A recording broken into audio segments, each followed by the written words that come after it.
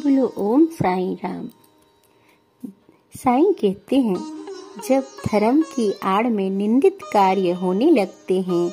जब भिन्न भिन्न धर्म अवलंबी परस्पर लड़ने लगते हैं, जब ब्राह्मण संध्या आदि कर्म छोड़ देते हैं, कर्मठ पुरुषों को धार्मिक कृत्यों में अरुचि उत्पन्न हो जाती है, जब योगी ध्यान आदि कर्म करना छोड़ देते हैं, और जब जन साधारण की ऐसी धारणा हो जाती है कि केवल धन, संतान और स्त्री ही सर्वस्व है।